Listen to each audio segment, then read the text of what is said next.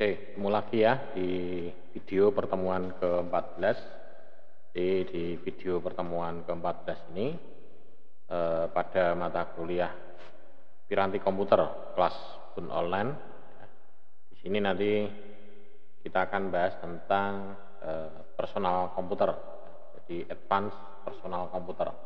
Jadi kalau kemarin kita tentang personal komputer ya, kita bahas tentang advance personal komputer. Ya. Nah, di sini tujuannya yaitu eh, nanti akan mengenalkan tentang eh, kontrol panel ya di sini. Jadi di sini adalah di eh, manajemen sistem ya di bagian eh, toolsnya ya di Windows ya, secara umum ya. Jadi tugas manajemen sistem secara umum. Kemudian virtualisasi, ya, jadi sisi klien. Ini mengkonfigurasi virtualisasi di komputer. Nanti kalau ini mengkonfigurasi virtualisasi ini nanti yang saya peragakan nanti saya menggunakan punyanya Hyper-V ya. Karena di tempat saya adanya Hyper-V. Kalau saya pasang sebenarnya ada dua ya. Hyper-V itu bawaannya sistem operasi. Kemudian yang satunya adalah VMware. Kalau VMware bisa kita install. Namun kalau kita sudah menginstal Hyper-V, kita pasang VMware tidak bisa. Hyper-V harus kita lepas dulu. Jadi tidak bisa diinstal dua-duanya diinstal dipasang tidak mau. Kemudian teknik perawatan atau perawatan preventif secara umum dari sistem operasi. Ya, Di sini menggunakan teknik eh, pemeliharaan ya preventif untuk umum dari sistem operasi dari Microsoft Windows. Kemudian proses pemecahan masalah ya, baik secara dasar untuk sistem operasi. Ya, terakhir ini adalah menjelaskan e, cara memecahkan masalah troubleshooting di sistem operasi Windows. Ya, ini nanti ada empat poin ini yang akan kita e, bahas ya. Yang bagian pertama adalah Windows Desktop, tools dan aplikasi ya. Jadi di sini kalau di bagian Windows Desktop eh, mungkin kebanyakan sudah ada paham ya di sini. Eh, jadi Windows Desktop ini merepresentasi grafik dari ruang kerja atau sering disebut dengan GUI, Graphic User Interface. Ya. Jadi dia merepresentasikan dari grafik untuk ruang kerjanya. Desktop ini memiliki icon dan bilah toolsnya yang untuk membuat menu atau atau untuk menu untuk memanipulasi file ya. Jadi di sini ya desktop. Tapi desktop di Windows eh, apa namanya eh, XP ya dengan Windows 7 dengan Windows 8 Windows 10 itu berbeda ya. Kalau di Windows eh, 10 tampilannya semua tampil ya karena memang Windows mulai 7, 8, 10 itu memang didesain untuk e, tablet, untuk layar touchscreen sehingga kita bisa mode e, touchscreen ya. Kemudian di Windows 8 ini yang terkenal desktop baru menggunakan Ubin ya. Jadi, jadi tampilannya tampilannya adalah mungkin di situ tidak bisa ya ditampilkan ya. Jadi tampilannya dia bentuknya adalah eh, apa kalau di sini bisa tidak ditampilkan ya? Di layar sini ini masalahnya pakai dua layar. Ini kalau di pojok sini saya nah tidak keluar ya ini tidak keluar. Jadi di sini ada tampilannya ini. Mesti saya harus nge-switch ya nge-switch ke layar satunya. Ya jadi tampilannya itu. Kemudian di uh, properti desktop ini, desktop Windows ini uh, sangat dapat disesuaikan ya. Artinya di customize. Kita bisa mengcustomize ya. Ya, mungkin termasuk mengatur ulang judulnya, mengubah warnanya, suaranya, ya, mengubah resolusinya ya. Bahkan dulu kalau di Windows uh, apa namanya? Uh, 8 dulu itu terkenal dengan namanya adanya Teams, desktop Teams ya. Itu merubah semuanya tapi kalau di sini mungkin hanya berubah wallpaper ya. Desktop timnya saya kurang tahu. Di sini ada enggak ya? Jadi kalau kita lihat di sini, ini di bagian nah ini personalize ya. Sini hanya eh, background aja ya, memilih background. Nah, ini pilihan backgroundnya, kemudian warnanya, kemudian themesnya, nah, ini themesnya ini bisa kita pilih. Ini bisa kita install, bisa kita tambahkan, ya ini themes themesnya. Kalau ini themes bawaan, ini ada yang tambahan di sini, ya ada tambahan, ada bawaan, ya. Jadi bisa kita pilih di sini, pilih, kemudian nanti bisa kita bahkan ini bisa merubah semuanya warna dan semuanya ini kalau di Windows eh, apa 10 ya tentunya di Windows 8 juga sama. Ya, ini. kemudian di menu start ini. Jadi di menu start ini mengizinkan pengguna untuk mengelola program mencari komputer dan memanipulasi aplikasi yang sedang berjalan. Jadi di menu start ya. Sayang di sini tidak bisa ditunjukkan ya. Mungkin kalau saya bukakan di ini ya, uh, di sini ada Windows apa? XP, XP-nya tidak ada sini ya. Basis data, Bond, Dever, 5, London, Tunis, Ubuntu, tidak, tidak ada, tidak ada apa ini. Ya paling tidak kalau misalnya Windows uh, apa namanya Windows uh, ini Windows 10 itu hampir sama seperti ini Windows Eh, server. Nah, ini. Jadi kurang lebihnya hampir sama dengan ini Windows Server. Tampilannya ya, karena memang ini tampilannya Windows Server 2019 ini ya sama seperti Windows eh, 10. Jadi nanti dari sini kalau dari sini tampilannya ya ini dalam bentuk Windows jendela. Jadi tampilannya sama seperti Windows 10. Ini Windows 7, Windows 8, Windows 10 sama. Ya. Kalau ini yang saya uh, panggil ini adalah ini Windows Server 2019 ya Windows Server 2019 nah tampilannya sama ya jadi kemudian dari sini nah ini full screen ya. Passwordnya. Nah jadi dari sini kita e, mengubah-ubah misalkan warnanya desktop timnya nah itu bisa juga.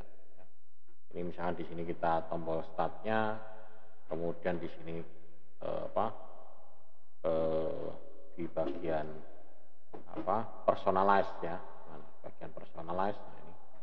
Jadi kita di sini bisa kita ubah. Ini misalkan Teams ya. nah Teamsnya kita ubah. Atau kita bisa juga eh, ambil dari internet. Ya. tapi ini harus connect internet ya. Jadi bisa juga kita ambil dari internet atau download ya. Kemudian nanti kita pasang di sini. Jadi desktop timnya seperti ini. Ini kalau yang ini model ini kita tinggal klik aja maka dia nanti akan e, mengubah ya. mengubah semuanya. Coba ya. Kontrol panel ya personalize. Misalnya kita ubah yang ini timsnya kita ubah yang ini. Maka dia oh ini karena ini yang apa evaluation ya. Evaluation day tidak bisa diubah-ubah jadi tidak bisa diubah-ubah ya, jadi ini evaluasi tidak, tidak bisa ngerubah desktop timnya ya gitu ya kemudian di sini juga menu start dapat mengakses ya dengan mengklik ikonnya tadi ya jadi kalau kita mau pilih di sini ya. Nah, ini dari sini start bisa akses ya. E, mencari, dicari ataupun juga akan muncul di sini semuanya nanti. Ini bisa dibesarkan e, layarnya ya. Misalkan tampilannya ini mau di, dimunculkan semua di sini juga bisa ya. Jadi nanti dimunculkan ya, tampilannya dari sini menu. Kemudian bisa juga lihat yang aktif mana di sini. Cuman di sini tidak tidak muncul ya, atau karena belum belum di setting ya. Kemudian menghapus ya eh, start menu dari Windows 8 tetapi menambahkan kembali versi terbatasnya. Jadi Windows 81 ini. Jadi ada di menunya. Yang tadinya menunya itu menu e, drop down gitu ya. samping gitu ya. Kalau sekarang sudah enggak. Jadi langsung tampil di depan semua. Nah ini gambarnya ini kayak di samping ini. Kemudian pengelolaan teks ini, ini memungkinkan untuk manajemen aplikasi yang berjalan di komputer. Jadi meskipun pada dasarnya menyajikan informasi yang sama, ini Windows 8 memiliki tab yang berbeda dari Windows 7 dan Vista. Jadi eh, komputer dan Windows Explorer-nya. Jadi file Explorer, Windows Explorer ini adalah aplikasi pengelola file yang serupa ya. Jadi fitur PC dan komputer ini memberikan uh, akses ke beberapa drive. Kemudian ada juga di sini library ya, perpustakaan Windows memungkinkan mengorganis, mengorganisasi ya konten yang mudah dan tidak perlu memindahkan file.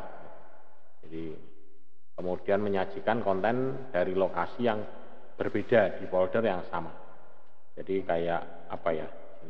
Kalau di komputer di sini adalah quick access ya. Jadi kita bisa mau mengumpulkan di sini tanpa harus memindah-mindah. Ya. Jadi lokasinya biar tetap di sana, tetap ini. Bahkan kalau sudah menggunakan seperti ini, kadang saya juga lupa ini lokasinya di mana yang tidak tahu. Karena sudah dibuat shortcut seperti ini. Jadi eh, quick aksesnya ya. Oh ini yang sering digunakan. Jadi saya hanya bisa mengakses dari sini, quick access. Kemudian juga mendukung untuk drive ya, misalkan ke apa e, personalize ya, drive-nya ini juga ada. Kemudian install install dan uninstall pemasangan aplikasi ini juga memudahkan ya. Jadi proses install dan uninstall itu harus perlu dilakukan dari manajemen ya di manajemen tools di control panel. Jadi untuk e, menginstal dan uninstall ya, jangan langsung dihapus dari ini dari luar itu ya. karena itu nanti akan menyebabkan e, rusak ya filenya akan rusak jadi harus dihapus dari uninstall karena dengan uninstall itu nanti registrinya juga akan hilang semua akan ikut terhapus semua jadi registrinya itu akan e, e, terhapus ya. jadi dengan begitu akan e, apa namanya ini akan bersih ya gitu. Karena kalau tidak, dia akan membebani komputernya. Jadi tetap running terus ya dalam komputer. Ya. Kemudian utilities ya di kontrol panel. Ini juga pemusatan pengaturan untuk banyak fitur. Ya. Jadi di sini dikategorikan ya, utilitiesnya. Jadi e, kalau utilitiesnya itu tools utilities. Kalau di e, komputer ini, ya, maksudnya di sini ya tools utility jadi kalau di sini kita lihat, nah ini all utility-nya. Ya. Kita bisa juga ketikkan dari sini e, menggunakan e, kontrol panel. Ya. Jadi kalau kita menggunakan kontrol panel ya bisa juga. Ya, ya tampilannya hampir sama ya dengan ini utility-nya. Jadi kalau di sini kita ketikkan kontrol panel, kontrol panel ya. Nah, saja kontrol panel ya panel untuk mengontrol. Ya, nah ini tampilannya seperti ini. Ya, ini sebenarnya kontrol panel ini tampilan mulai dari Windows uh, berapa ya? 95 ya. 95 sampai sekarang ini masih tetap dipertahankan ada semua, ada terus. Ya cuman hanya beda ada penambahan dan pengurangan fiturnya. Tapi dari sisi tampilannya sama semua. Ada sistem nah ini ada sistem di sini kita bisa lihat di sini eh, apa namanya untuk melihat sistemnya juga bisa. Ya. Jadi sistem ya ya ini. Jadi dari sini sistem di sini sama sebetulnya ya. Itu. Ini aplikasi untuk install dan uninstall. Tapi kalau dari kontrol panel ya sama di sini add and remove program ya. Jadi maksudnya. Jadi kalau kita di sini kita masuk di sini eh, kontrol panel ya ini Nah, di sini. Jadi di sini menunya banyak sekali ya. Ada add and remove program ini. Ini add and remove program ada enggak? Nah, ini tools, font. Maksudnya bukan add and remove program ya. Nah, ini program and fitur ya. Kalau dulu namanya add and remove program. Nah, sekarang ini program and fiturnya. Jadi kita pilih di sini, nah ini baru bisa menu. Pilihannya ada uh, uninstall atau change ya di sini. Ya, ada uninstall ataupun change. Nah ini. Jadi uh, menu pilihannya ada di sini. Kalau dulu ini namanya remove add and remove program. Nah, tapi sekarang ini program and fitur. Ya, jadi di sini. Jadi di Windows uh, XP, Windows uh, apa namanya uh, 7 itu kelihatannya add and remove program. Ya. Nah ini fitur-fitur yang ada di kontrol panel ya, kontrol panel. Kemudian akun pengguna. Akun pengguna ini memungkinkan untuk memanajemen akun ya. BAC monitor program dan mengeluarkan peringatan untuk tindakan yang mengancam sistem. Jadi akun pengguna. Akun pengguna ini bisa kita tambahkan juga di sini. Jadi kita bisa membuat lebih dari satu akun. Di dalam sini kita bisa akun. Jadi kita bisa menambahkan. Kebetulan di sini hanya satu saya buat. Ini kalau mau saya demokan, kalau ini takutnya nanti ketutup ya. Maka saya demokan pakai yang ini aja. Nah, misalkan di sini saya e, bisa enggak ini menambahkan akun gitu ya ini coba di sini saya masuk dulu di kontrol panel ya atau langsung di sini ya akun nah, nah di sini bisa nambahkan ya. ini. Nah, jadi di sini kita bisa nambahkan create picture di sini atau bisa juga kita buat baru atau bisa juga kita buatnya dari uh, ini uh, menu manage ya di sini. Manage. Nah, kok manage muncul ini. Ya ini. Manage lokal user komputer. Oh, bukan, bukan ini. Ini kebetulan ini server ya. Kalau di manage di sini adalah klik kanan uh, properties. Mungkin ada enggak? Ya, ini karena ini server ya, enggak beda ya. Mestinya di sini ada nih uh, manage ya. kemudian masuk ke kalau ini dashboard oh server kan di sini event ada ada manage ya coba manage ada enggak tools tidak bisa diklik ya agak lambat ini CC agak lambat. Nah, jadi dari, dari sini kita bisa nambahkan ya ini nanti. Nah, ini malah not responding. Ya. Not responding. Eh, coba kita tunggu dulu. Terus, nah ini tidak ada menitnya. Ya, agak, lambat ini.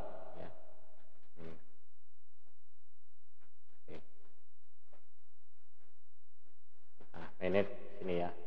Kemudian di sini ada oh bukan nih, tools ya, user komputer management. Ya.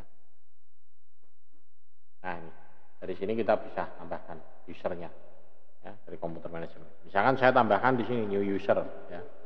Uh, username-nya di sini Tony Tony gitu ya. Ini misalkan. Uh, full name-nya Tony Janarko. Kemudian description-nya apa misalkan. Dosen passwordnya harus diisi misalkan. Ya ini. Ya. Kemudian ini user masing password at network logon atau enggak Ya, kemudian dia nanti statusnya apa? Sebagai admin atau user biasa. Nah, ini sudah clear. Nah, di sini sudah ada. Maka di di kontrol panel di sini ya, kalau di sini nanti di sini sudah muncul mestinya. Ya, ini coba saya back dulu. Masuk ke user mana? Con. Nah, di sini belum muncul ya. Coba tadi jangan-jangan belum diaktifkan ya. Ini nah ini sudah aktif sih sebetulnya ya. Ini sudah aktif. Cuman belum muncul ya. Cuman munculnya ini kalau pas login mestinya ya. Ini saya uh, log off ya. Tidak tidak di shutdown ya tapi uh, disconnect. Coba. Disconnect kemudian reconnect nah, ini. nah di sini ada pilihannya. Nah ini ada pilihannya dua ya. Admin atau yang pilih yang Tony. Nah, ini ada pilihan di sini ya. Jadi di sini ada ada pilihannya ini. Jadi dia bisa multi user ya. Kita bisa buat ini, akun di sini. Kemudian pilihan internet ini memungkinkan untuk mengkonfigurasi pengaturan internet di Windows. Ini juga opsi internet ini umum. Kemudian keamanannya privasinya konten koneksi program dan yang lainnya. Ini bisa juga diatur. Di sini ada di bagian kontrol panel itu ya, itu ada bagian pilihan untuk koneksi ke internetnya. Jadi bisa kita atur juga ya. Itu. Ya. Kemudian pengaturan tampilan ini memungkinkan untuk mengkonfigurasi pengaturan terkait video, resolusi layar. Jadi kita bisa atur di resolusi layarnya ya jadi kalau misalkan di sini tampilan ini, ya, jadi kita bisa atur di bagian display. Ya. Jadi nanti bisa kita atur. Nah, ini kalau di sini pengaturannya, ya, kalau ini mestinya login dulu ya. Jadi pengaturannya bisa kita atur. Kalau kita memiliki dua layar monitor, ya nanti akan muncul ya dua layar monitor itu. Misalkan di sini misalkan saya mau ngatur ini untuk personalize. Nah ini. Eh, kebetulan ini monitornya mana ini? Network device. Ya. sistem. Nah ini. Masuk sistem. Nah ini. Kebetulan di tempat saya ini ada dua monitor. Nah, sehingga muncul dua ini dari pilihan monitor layar satu layar dua Ya kalau kita identify atau uh, identifikasi ya berarti ini punya saya ini layar dua, layar satu ada di sebelah sini. Ya. Di depan hadapan saya ini persis ini layar satu yang ada kameranya, sementara ya satu ada di sebelah kanan saya, ya layar dua. Nah, ini bisa kita atur di sini resolusinya, backgroundnya bisa kita atur. Ini pengaturan resolusinya. Kemudian pilihan folder ini juga memungkinkan untuk mengkonfigurasi pengaturan terkait foldernya juga. Ya. Jadi foldernya bisa kita atur ya untuk menyesuaikan ya tentang foldernya. Jadi folder itu bisa kita ubah-ubah ya. Mungkin saya saya contohkan yang di sini aja ya, yang di Windows servernya ini ya. Kalau mau saya ubah-ubah, nah, jadi Windows di sini foldernya bisa kita ubah-ubah. Ya, misalkan di sini dokumen, ya, atau inilah. Uh, ini. Saya buat dokumen di sini, new folder. Nah, ini foldernya ini bisa kita ubah-ubah. Nah, ini defaultnya nanti ini. Nah, kita klik kanan, kemudian kita properties, nah, kita bisa ubah. Uh, sharing general ini kalau di Windows Server sepertinya enggak, enggak bisa ya. Tapi kalau di Windows Security enggak ada. Resolusi tidak ada, customize nah ini. Ya, kita bisa change ya. Foldernya mau saya ganti gambar apa misalkan. Oh foldernya ini saya gambar gambar hard disk, nah, bisa juga. Apply. Ya, nanti berubah jadi ini foldernya. Ya, jadi foldernya berubah ini. Tapi ini akan menyalai menyalai ya bingung ya karena ini folder ini sebetulnya eh, ikonnya ini sudah memiliki eh, ini sendiri ya. jadi eh, sudah ada yang punya sendiri nah, itu. jadi kalau misalkan ini gambar eh, CD-ROM drive atau gambar ini ini kan gambar jaringan ya ini gambar CD-ROM ini bisa atau kalau kita mau bikin e, gambar folder sendiri tidak apa-apa. Atau kalau misalnya ini gambar kayak gini berarti ini foldernya e, mungkin gambarnya ini berarti folder yang terinskripsi. Ya juga. Atau eh, data-data uh, rahasia. Nah gitu. Saya dikasih gambar kayak gini. Jadi bisa kita atur ya. Kita kita sesuaikan sesuai dengan uh, kebutuhan kita kemudian uh, pusat aksi di sini adalah lokasi untuk melihat peringatan atau membantu menjaga Windows tetap berjalan lancar ini di bagian ini, ini dibagi menjadi bagian keamanan dan perawatan jadi pesan yang disorot merah ini harus ditandai dengan ditangani dengan cepat. Ya, jadi warna kuning menunjukkan tugas yang direkomendasikan. Jadi ini ada di dalam eh, apa namanya eh, task manager ya misalnya. Mungkin di task manager. Coba kelihatan enggak ini. Nah, eh, kalau ini enggak sih event viewer ya bukan di task manager tapi di event viewer ya uh, event nah, event viewer nah, ini. ini kalau di sini event viewer jadi ditandai nanti di sini misalnya di sini custom uh, view atau Windows Lock. Nah, di aplikasi. Nah, di sini ada keterangannya nah, di sini. Ya. jadi ada yang ditandai dengan tanda seru ada yang tanda tanda kuning ada yang tandai warna merah. Merah berarti ini harus segera diatasi ya. Nah ini. Kalau ini masih hanya informasi tidak ada. Nah ini. Warning warna kuning. Tapi ada juga yang merah. Nah, ini tidak ada contohnya ya yang warna merah. Security ada tidak, tidak ada setup ada tidak ada yang warnanya merah jadi nah ini warnanya hanya kuning saja nah ini merah error nah ini ada juga nah, ini perlu ditangani kayak gini ini kalau errornya hanya sekali kayak gini berarti ini Hyper-V ya. Hyper-V uh, switch ya, PM switch. Nah, ini ada error. Ini pada saat menjalankan Hyper-V harus ada perlu uh, penanganan ya gitu. Jadi karena sudah ditandai warna merah. Kalau kuning ini masih warning ya ini. Ya.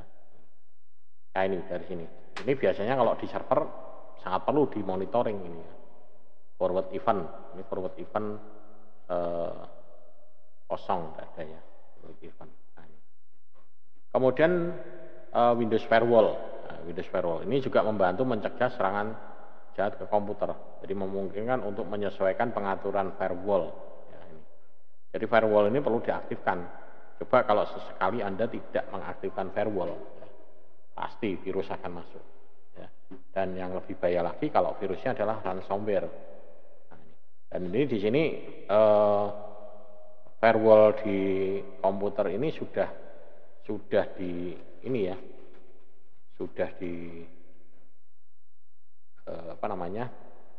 Ini jadi di, sudah dirancang ya eh, bahwa ini harus eh, apa eh, aktif ya jadi untuk firewall keamanannya jadi untuk untuk firewall keamanannya itu harus harus aktif Nah, ini misalkan Windows Windows Security di sini. Saya setting Windows Security. Nah. Jadi sini ada firewall protectionnya, ya. Ini. Kalau saya di sini pakainya ada Windows uh, Microsoft Windows uh, apa namanya uh, Defender ya.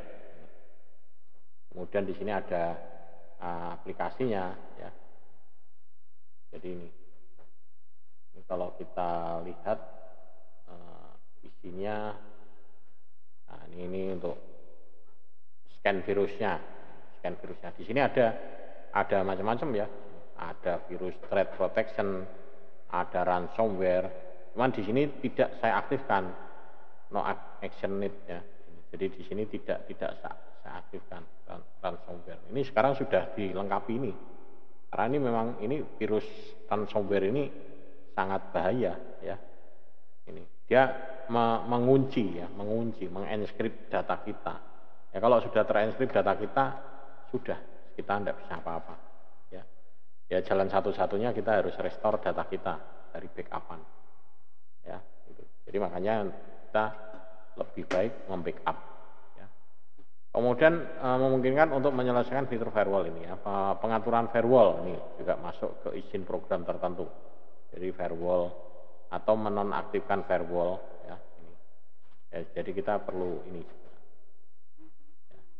Kemudian utilitas di kontrol panel yang perlu kita atur juga ini power option. Nah, Ini power option ini kita bisa mengatur untuk setting uh, powernya, terutama kalau kita menggunakan uh, laptop ya.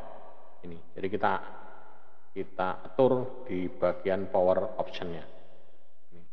Jadi di sini ada di bagian power option. Ya. Power optionnya mana ini? Nah, ketik aja sini ya power. Nah, power. Nah, jadi di sini ada konfigurasinya ya. Sini additional power setup. Nah, ini. jadi kita bisa setting di sini. Ini uh, change plan setting. Nah, ini.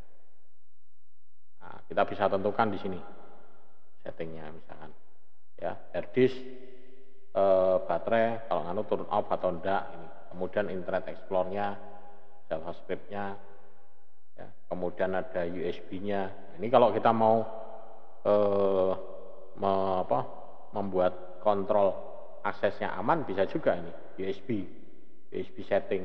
Ya, USB-nya pada saat e, menggunakan baterai itu USB-nya dimatikan semua bisa juga. Jadi kalau misalkan uh, pernah ini teman saya kerja nih seperti ini ya dulu, dia bukan ngerjani ya, tanpa sengaja ya, tapi saya tidak lupa mengembalikan nah itu ya. Jadi USB settingnya ini saya matikan pada saat uh, ini, pada saat on baterai. Jadi pada saat menggunakan baterai itu mati. Nah, begitu kalau dipasang list ini uh, adaptornya, pasang powernya, baru USB-nya baru berfungsi. Nah, itu. Itu bisa juga ya pada saat USB-nya atau ini mau dipakai untuk ngunci semua ya bisa. Ini dimatikan semua, disable semua pada saat on baterai maupun unplug ini port USB-nya tidak berfungsi semua, disable semua ya. Tapi ya repot kalau kita menggunakan MOS yang USB tidak, jadi tidak bisa ya. Jadi bisa di, di dicoba ya, Anda coba. Tapi kalau ini saya coba, saya matikan ini nanti putus semua, soundnya akan mati, kimosnya akan mati ya, karena ini sound saya pakainya USB keluar, bukan pakai yang itu cek itu ya. Kemudian display ini juga sama, ya turn off setelah berapa lama, nah, ini perlu diatur bisa juga. Baterainya, nah ini baterainya pada saat critical itu berapa, kemudian pada saat baterai actionnya apa, pada saat low ini berapa persen ya kemudian pada saat e, ini kritikalnya berapa persen ya. cuman ini baterainya kalau jadi kalau pada saat kritikal on baterai 20 persen nanti akan muncul low baterai low baterai berarti berarti kritikal nanti kurang dari 10 persen baru muncul. Ada kritikal. Lampunya semuanya redup semua. Nah ini yang perlu bisa di diatur ya. Di di apa namanya? Di bagian power. Kemudian di bagian sistem utility, ya. Sistem informasi hub, ya. Oh ini ini lupa menerjemahkan ya. Ini eh, pada bagian ini agak lupa, lupa untuk di eh, apa namanya diterjemahkan. Ya. ya. Jadi pada saat ini pengaturannya. Kemudian device manager, printer, sound ini juga uh, ada pengaturannya tersendiri untuk ngatur printer, sound. Ya.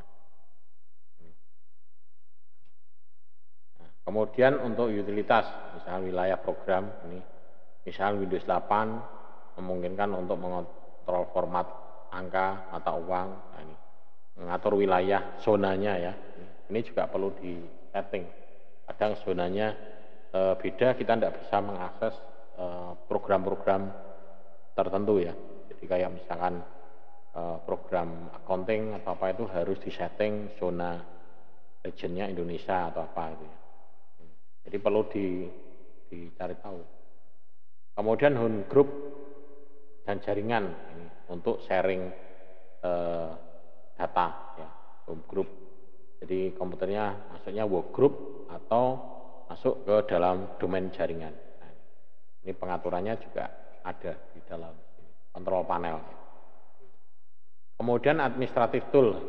Ini manajemen komputer memungkinkan pengolahan banyak aspek komputer di komputer e, lokal ya ataupun remote. Nah, ini. Jadi kita bisa dengan menggunakan administratif tool kita bisa ini manajemen komputer, kemudian eh, apa namanya? Ini apa? Penam, penampil acara eh, riwayat, mencatat riwayat aplikasi keamanan dan istilahnya ini.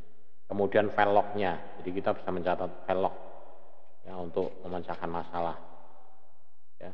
Kemudian ada apa ini? Jasa memungkinkan pengolahan semua layanan komputer dan komputer jarak jauh remote. Dan layanan ini dapat dikonfigurasikan kan untuk memulai secara otomatis ya. Jadi settingnya ya setting untuk fiturnya. Di administratif tool ya. Kalau kita lihat masuknya di administratif tool di sini tuh eh, masuknya mana nih kontrol panel ya ya kontrol panel dan Nah, ini ada administratif tool nah ini. Nah, isinya ini menunya. Nah, ada discipline up, event viewer, ya, service ya. Tadi masuk service itu maksudnya jasa itu ya. Hmm, terjemahkannya salah. Service ya. Kemudian ada apalah macam-macam ini. Jadi ini adalah kumpulan dari tools di administratif Kemudian ada sistem konfigurasi, configuration system ini juga configuration komputer, ada ini, ini. Jadi digunakan untuk mengidentifikasi masalah misalkan, ya layanan program. Kemudian eh, monitoring log ini, monitoring kerja ya, desk monitoring, diagnostik memori, yang menampilkan gambar umum monitoring kerja. Jadi eh, kita bisa monitoring ya dari sini juga nanti. Misalkan kalau kita pakai monitoring ya berarti ini nanti. Ini ada uh, komputer manajemen, terus ada uh, monitoring, ya. Jadi ada monitoring di sini, coba ya tulisannya enggak kelihatan. Nah ini performance monitor. Nah ini bisa kita uh, lihat juga di sini, performon ya jadi dari sini kita bisa melihat monitoring. Tinggal yang mau kita monitoring apa di sini kita tambahkan aja. Ya. Mau tambahkan apa? Memorinya, harddisknya, jaringannya atau uh, apa? Jadi kita tinggal add-kan aja di sini. Jadi kalau misalnya kita tentang prosesor informasi, prosesor informasi itu apa? Misalkan totalnya, tinggal kita add aja sini. Oke, nambah. Jadi nanti di sini akan nambah banyak ini. Nah ini prosesor informasi. Jadi kalau kita kerja, tapi ya ini e, untuk tujuan monitoring ya, untuk menganalisa. Jadi apa yang akan kita analisa? Database juga bisa di sini ada database. Ya, ini. Jadi adalah ini salah satunya juga untuk monitoring. Ya. Kemudian disk defrag. Disk defrag ini kalau harddisknya sudah menggunakan SSD tidak perlu. Ini menata ulang menata ulang terutama partisi drive C ya. Karena apalagi kalau komputernya itu dipakai untuk uh, sharing printer. Nah itu wah sangat uh, apa namanya uh, perlu sekali untuk dilakukan defrag. Tapi kalau SSD ini tidak membutuhkan defrag ya. Ya jadi dia tidak perlu. Karena dia uh, bukan lagi disk ya tapi di sini adalah uh, apa penggunaannya adalah memori Kemudian ada disk error checking. Ini memindai hard drive yang mencari struktur atau kesalahan permukaan disknya atau eh, apa scanning disk eh, scanning error checking di sini ada ini. Jadi kita bisa nyari yang bad sector atau apa ya. Nanti bisa ditandai supaya tidak ditempati oleh file. Kemudian sistem informasi ya, ini menggabungkan informasi tentang perangkat lunak driver dan mengkonfigurasi perangkat kuras komponen komputer ke satu tempat. Ini bermanfaat untuk personal eh, pendukung saat adanya permasalahan. Jadi untuk mendiagnosa komputer, diagnostik tool. Jadi kalau di sini toolsnya itu adalah e, masuknya adalah mungkin bisa juga resource monitor ya. Jadi masuk ke situ. Kalau ini di ini deprak ya tadi deprak.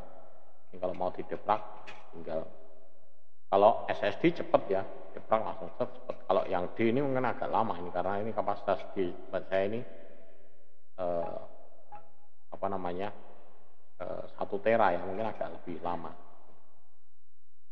Ya gitu. Kemudian untuk perintah misalkan di sini ada informasi perintah untuk CLI nah, misalkan untuk MS Info. Nah, jadi jadi kalau tadi kan berbasis GUI ya.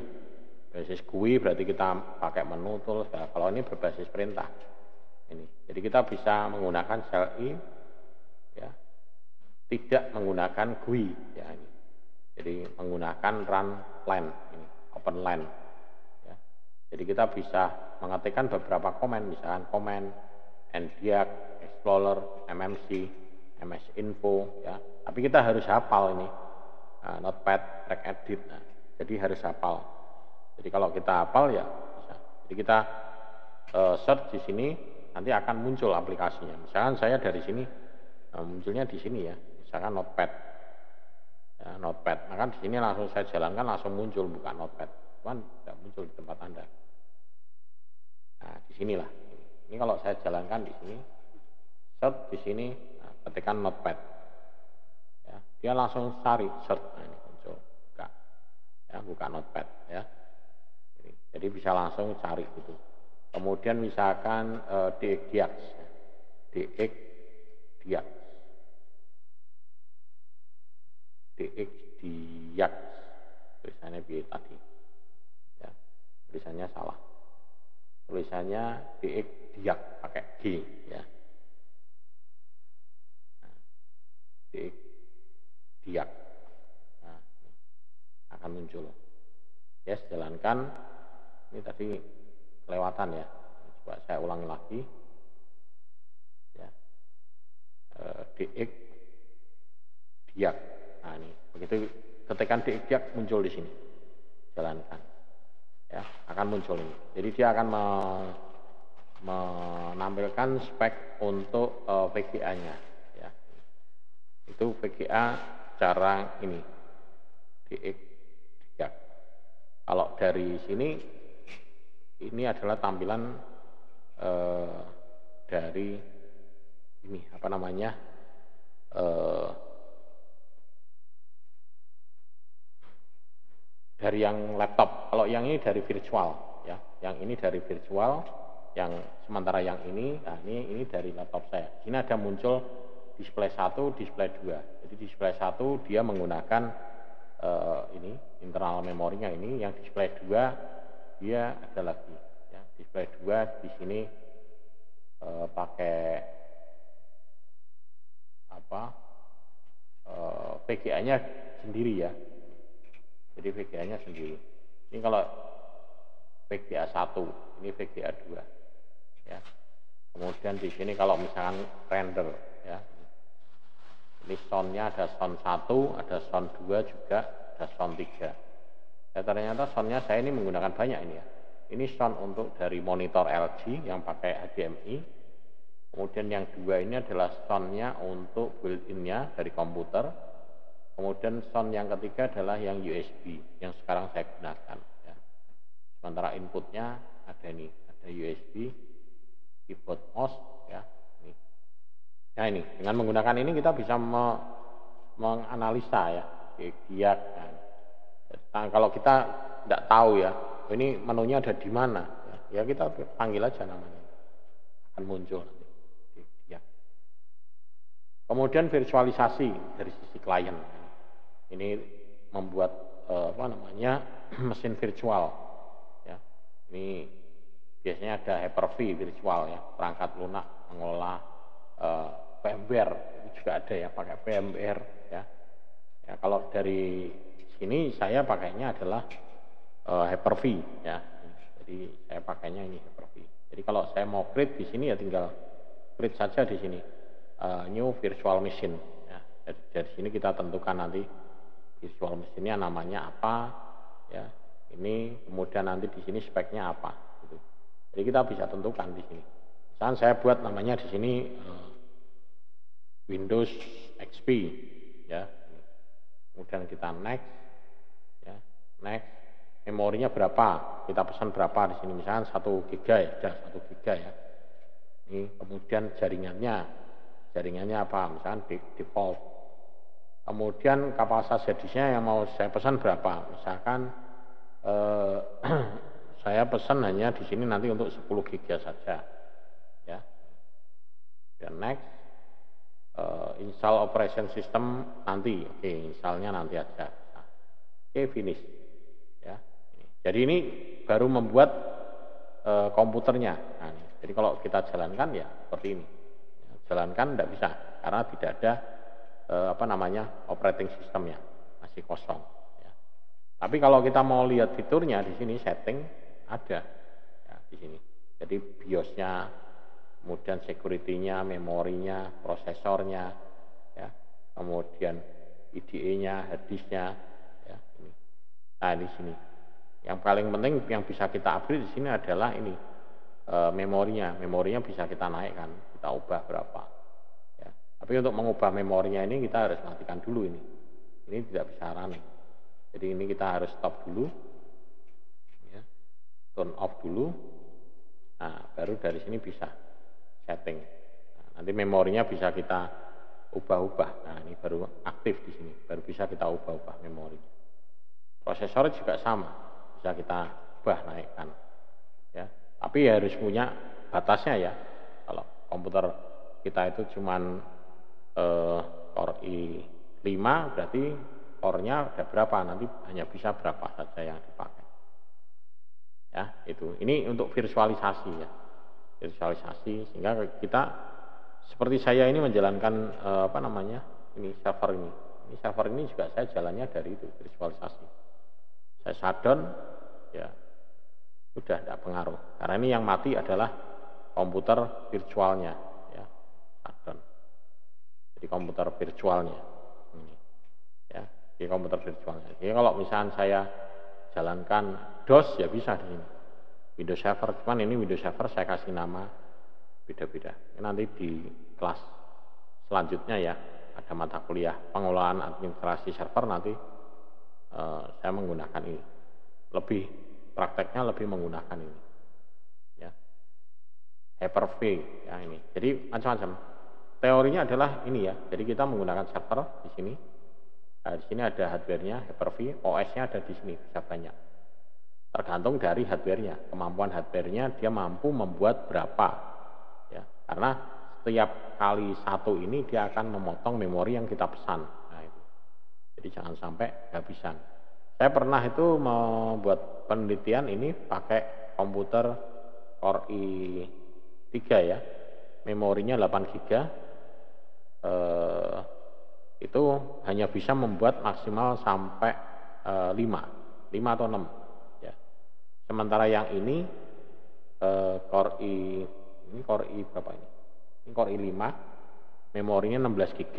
Ini saya bisa membuat virtual itu sebanyak 16, 17. Ya sekitar 15-an lah, 17, 18 sudah tidak bisa.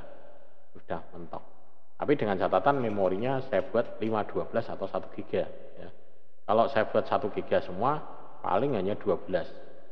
12 ya, karena memorinya 16 11 GB potong 1 giga 1 giga untuk sistemnya sendiri di sini komputer harus minimal 4 giga nah, saya klik lagi sudah habis ya.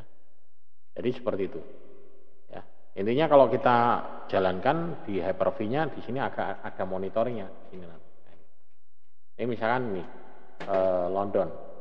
London saya jalankan. Maka di sini nanti akan muncul penggunaan memorinya ya. ini penggunaan memorinya mungkin dilihatnya dari ini ya. Uh, task manager. Nah, ini. dari task manager di sini performance nah ini. Ini akan kelihatan memorinya. Jadi memorinya dipakai berapa di sini akan kelihatan. Ya. ini. Jadi memorinya tersisa berapa giga. Ini memori. Nah ini. jadi 16 tadi antusias ini kalau saya jalankan lagi ya misalkan let's go saya buka lagi di sini ya, ya ada dua ya. Yang running ada dua. Maka di sini memorinya jalan lagi mana nih? Task manajernya tadi mana? Nah ini. Nah, kepotong lagi ya, 12. Potong lagi. Saya coba jalankan lagi, ini saya tarik sini aja. Eh, Denver saya jalankan lagi di sini ya. Start running ya. Maka di sini memorinya kepotong lagi. Ya. Potong lagi. Kemudian saya jalankan lagi. Ini penggunaan memorinya sudah di sini sudah mentok ya, hampir. Ini baru jalan tiga ya. Saya coba lagi jalankan lagi e, server lagi satu. Nah, nah, semakin lama semakin e, habis ya penggunaan memorinya lah ini. Jadi di sini punya limit batasnya. Nah, ini sampai memorinya sudah hampir mentok habis nih. 16 giga ini habis. Nah, ini. Nah, ini. Ini tersedia cuma satu setengah giga. Nah, ini. ini jalankan berapa ini? Satu, dua, tiga, empat. Nah, ini. Tapi kalau sudah buka semua, ini nanti stabil turun lagi karena dia tidak ada proses. Ya. Jadi di sini saya jalankan e, servernya ada berapa ini? Ada satu, dua, tiga, ya. ada empat, empat ya. Ini ada jalan empat. Nah, ini. ini memorinya sudah mulai stabil. Nah, ini. Tersedia 1,4 giga. Ini masih tersedia 1,4 giga. 1,4 giga mungkin saya bisa jalankan lagi coba Nanti kalau hang ya paling blue screen gitu ya, blue screen udah mati gitu. Nah ini jalan. Memorinya tinggal berapa? Sini nanti. Ya tinggal 800 sekian. Ini saya jalankan lagi sekali lagi, udah tidak mau mestinya ya. Oh ini sudah tidak mau. Ini sudah habis ya. File gagal. Sehingga di sini sudah tidak bisa jalan lagi. Ya ini. Ini sudah gagal. Ya. Jadi memorinya sudah kurang. Ya ini karena karena apa? Saya di sini terlalu banyak memori dipakai untuk menjalankan aplikasi ini. Ada OBS untuk merekam segala macam sehingga sini hanya bisa mampu jalan 1 2 3 4. Nah, tapi kalau kondisinya normal, saya tidak menjalankan apa-apa, ini bisa sampai e, 12 ya, 12 virtual saya jalankan. Ini sudah tidak bisa. Ya, sudah tidak mau. Jadi ini karena sisa satu setengah giga sudah tidak bisa dipakai ya jadi ini ini adalah contoh ya kalau misalnya kita uh, menjalankan virtualisasi ini saya shutdown satu-satu ya saya shutdown satu-satu ini mati kemudian coba saya. Nah ini memorinya turun nambah lagi ya.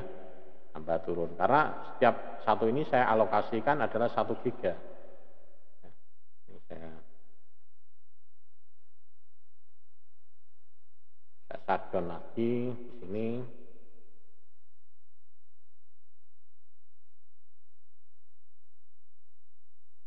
Nah ini saya shutdown turun lagi ya nah ini tambah lagi sisanya eh, kemudian ini saya shutdown lagi juga akan Tuh, diminta ganti password. Tidak usah aja.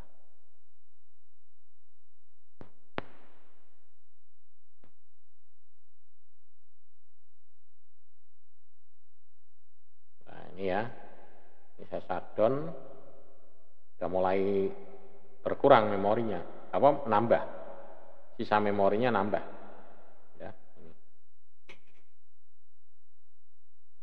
sudah mulai nambah kali 4 sisanya 4 4 giga e, ini tinggal satu lagi ya.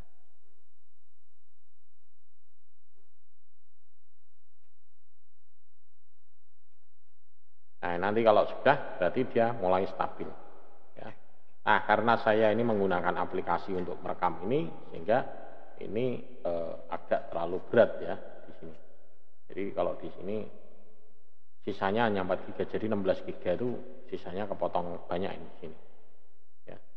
Kalau mau kita lihat eh, penggunaan memori yang paling banyak itu ada di mana ya kita lihat di sini eh, di proses ya. Nah, proses ini memori yang paling banyak ini nah ini.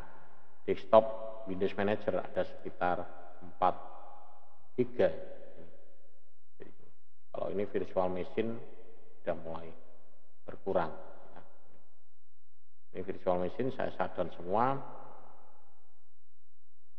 Oke. Ya tinggal tunggu. Memorinya nanti akan otomatis akan berkurang drastis. Tinggal 4 giga ya itu. Ini belum belum belum belum mati total ya. Masih ada satu yang running. Ini di sini ada satu yang running. Nanti di sini begitu ini off ini akan mati total.